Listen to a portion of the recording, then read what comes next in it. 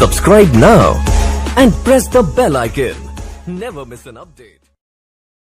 Ujjain lockdown के दौरान Khachrod police द्वारा शराब माफियाओं पर लगातार बड़ी कार्रवाई जारी है मुखबिर की सूचना पर एडिशनल एसपी आकाश भूरिया व साथ ही साथ एसडीओपी अरविंद सिंह के दिशा निर्देश में खाचरोद थाना प्रभारी के के द्विवेदी के निर्देश पर ग्राम बुरानाबाद में शांतिलाल सोलंकी, पिता दयाराम सोलंकी के घर पर दबिश देकर कीमत बयालीस हज़ार रूपए की चौदह पेटी शराब जब्त की गई है।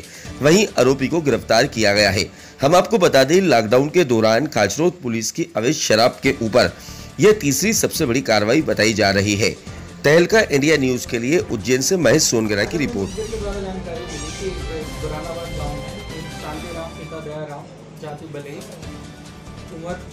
मुझे के द्वारा जानकारी मिली कि एक बुरानाबाद गाँव में एक शांतिराम पिता दयाराम जाति बले उम्र 35 वर्ष के घर पे कुछ शराब की सूचना मिली थी हमें।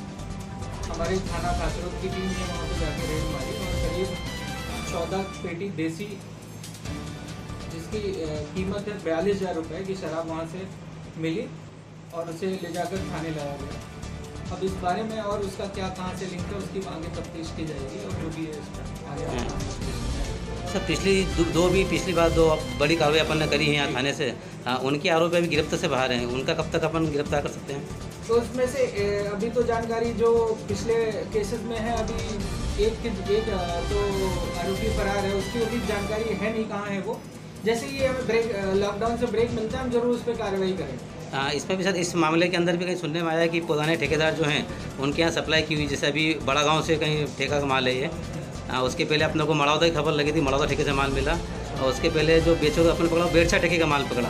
तो मतलब मुख्य जो आरोपी अपन उसको जो सदगना है जिनको इसके बारे में अभी चूँकि ये शिक्षक महोदय द्वारा ये अभियान चलाया जा रहा था अवैध शराब के विरुद्ध। उसी तारतम्य एस डी की खाचरोद के मार्गदर्शन में आज बुरहानाबाद में दबिश दे करके शांतिलाल पिता दयाराम सोलंकी, निवासी बुरहानाबाद उनके मकान के अंदर से चौदह पेटी देसी द्वारा शराब की जब्त की गई है और उनको गिरफ़्तार किया गया है। आगे की विवेचना जारी है, ये शराब कहाँ से लाए थे? किसको देने जा रहे थे? किस वाहन से आई थी? आज बिंदुओं पर विधिवत विवेचना की जाएगी।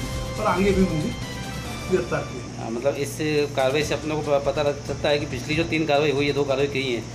उन ठेकेदारों तक भी अपने हाथ पहुँच सकते हैं। बिल्कुल पहुँचेंगे उनकी विवेचनाएँ चालू हैं।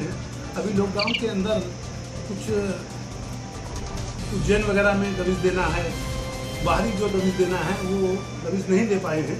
लेकिन उनमें भी कुछ जानकारियाँ प्राप्त करके और आगे तफ्तीश में मुझे गिरफ़्तार किए